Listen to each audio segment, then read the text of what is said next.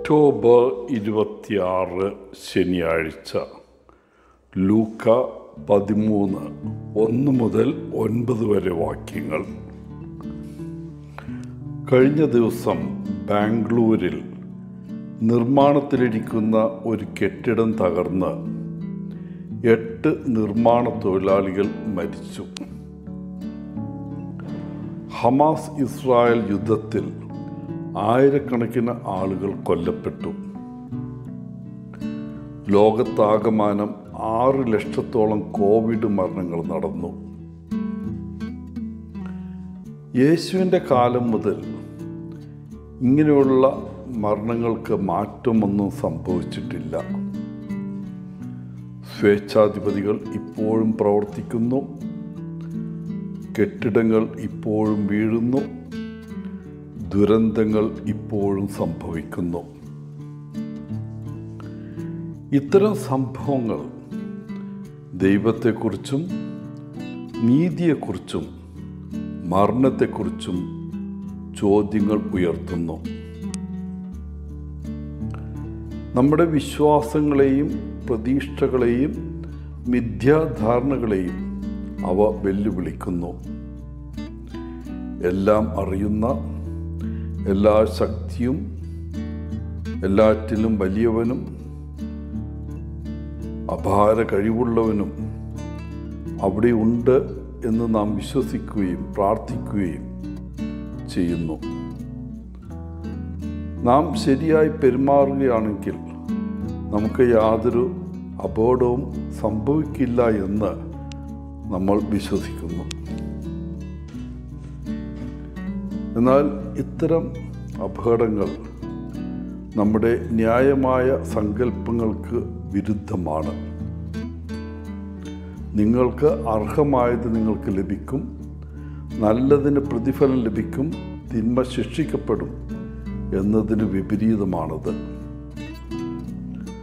നമ്മുടെ മരണത്തെക്കുറിച്ചും ജീവിതം എത്ര ദുർബലവും ഹ്രസ്വവും അനിശ്ചിതത്വമാണെന്നും ഈ സംഭവങ്ങൾ നമ്മെ ഓർമ്മിപ്പിക്കുന്നു. സ്വേച്ഛാധിപതികളും വീണുപോയ ഗോപുരങ്ങളും ദുരന്തങ്ങളും ജീവിതത്തിന്റെ അതുല്യതയെ തീവ്രമാക്കുകയും നമ്മുടെ ജീവിതത്തിൽ നാം എന്താണ് ചെയ്യുന്നതെന്ന് കൂടുതൽ അവബോധം നൽകുകയും ചെയ്യുന്നു. അവ മാനുഷിക ബന്ധങ്ങളുടെ മൂല്യം തീവ്രമാക്കുകയും സൃഷ്ടികളോടും പരസ്പര സഹോദരങ്ങളോടും നമ്മൾ എങ്ങനെ പെരുമാറുന്നുവെന്ന് പരിഗണിക്കാൻ അത് നമ്മെ ക്ഷണിക്കുന്നു. ഈ നിമിഷത്തിന്റെ അർത്ഥം തീവ്രമാക്കുകയും ഒന്നും പാഴാക്കുകയോ നിസ്സാരമായി കാണുകയോ ചെയ്യരുതെന്ന് അവ ഓർമ്മിപ്പിക്കുന്നു. ഭൂതകാലത്തെ വീണ്ടെടുക്കുകയും നമ്മുടെ കണ്ണുകളും ഹൃദയങ്ങളും പുതിയതും മികച്ചതുമായ വഴിയിലേക്ക് അസാധ്യമായതിന്റെ സാധ്യതയിലേക്ക് തുറക്കുകയും വേണം.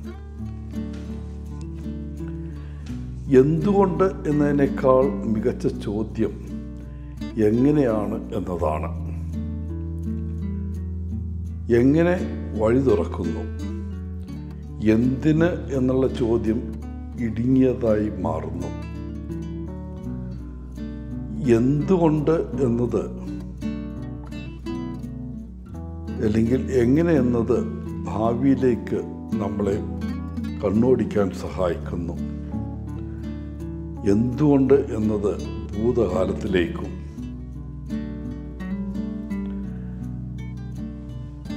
അനിശ്ചിതത്തിനും പ്രക്ഷുബ്ധയ്ക്കും ഇടയിൽ നമ്മൾ എങ്ങനെ നമ്മുടെ സ്ഥാനം കണ്ടെത്തും? നമ്മുടെ ജീവിതത്തിന്റെയും ലോകത്തിന്റെയും വേദനകൾക്കും ദുരന്തങ്ങൾക്കും നാം നമ്മെ തന്നെ നഷ്ടപ്പെടുത്താതിരിക്കുന്നത് എങ്ങനെ? സംഘട്ടനങ്ങൾക്കും അക്രമങ്ങൾക്കും ഇടയിൽ നാം എങ്ങനെ നിലകൊള്ളും? നാം കൂടുതൽ വ്യക്തമായി കാണുന്നതിന് നമ്മുടെ കാഴ്ച എങ്ങനെ മൂർച്ച കൂട്ടാം? നമ്മുടെ ഹൃദയത്തെ മൃദുവായി നിലനിർത്താനും പ്രത്യാശ നിലനിർത്താനും എങ്ങനെ കഴിയും? മരണത്തിന് നടുവിൽ നമ്മൾ എങ്ങനെ ജീവിക്കുന്നു? ഇതിനെല്ലാം യേശുവിന്റെ ഉത്തരം അനുദപിക്കുക എന്നതാണ്. ഇന്നത്തെ സുവിശേഷത്തിൽ അവൻ അത് രണ്ട് തവണ പറയുന്നു. നിങ്ങൾ അനുദപിക്കുന്നില്ലെങ്കിൽ അവരെപ്പോലെ നിങ്ങളും നശിച്ചു പോകും.